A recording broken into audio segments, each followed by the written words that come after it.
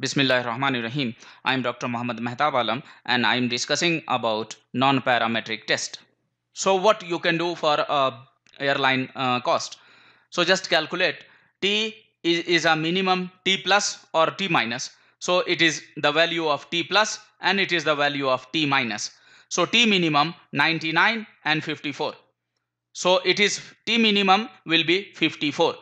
Then calculate mean so when you put the values on formula, you will get the mean 76.5 and standard deviation will be 21.1 and with the help of mean and standard deviation, now you can calculate the Z value.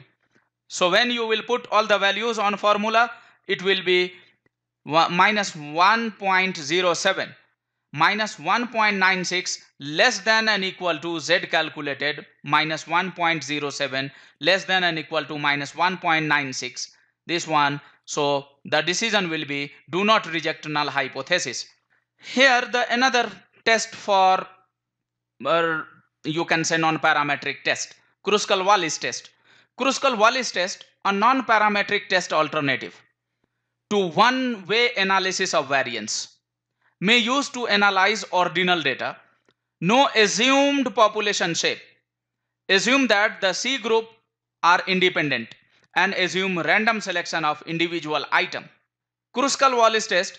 This is the formula, manual formula to do the Kruskal-Wallis calculation where C is a number of group, N is total number of item, Tj total of rank in a group, Nj number of item in a group and chi-square with degree of freedom column minus 1 c minus 1 that is column minus 1